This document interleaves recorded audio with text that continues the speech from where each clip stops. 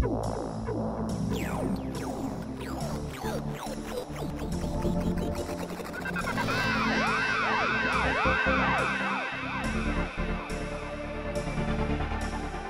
up guys, my name is Kevin Schaller and I'm responsible for the marketing at Balcony Productions.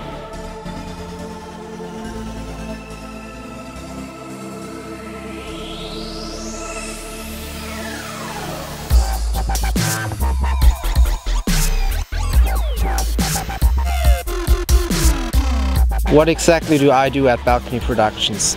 Well, I look for new artists, maybe new tricks to release with Balcony and I do the marketing, so I promote our tricks, I answer the questions that you have and yeah, that's basically all I do. What is a great thing for me to work with Balcony?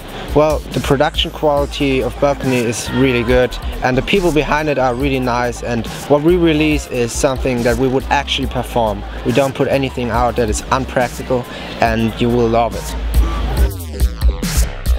How did I come into magic? Well, it started when my grandfather gave me a magic book and I read the tricks in it and then, you know, I went to the internet and I learned some tricks and got into it and I'm glad that it happened because it's really, really cool.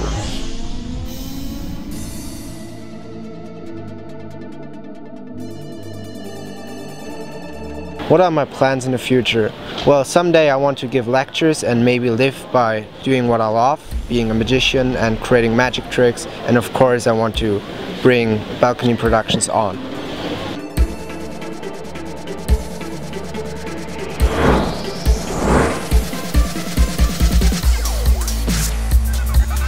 What is an outstanding effect for me? Well, when I create magic, I want an effect to be easy for me and astonishing for the spectator. I don't want to sit down and try to learn it for years and don't be able to do it quickly. Because I want my magic to be simple but very effective.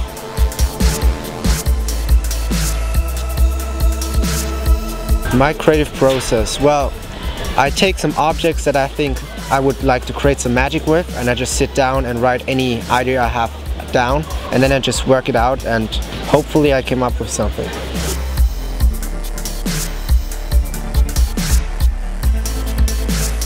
What are my hobbies besides magic?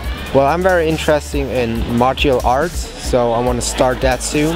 And I love to watch movies. I think movies are very inspiring and very funny.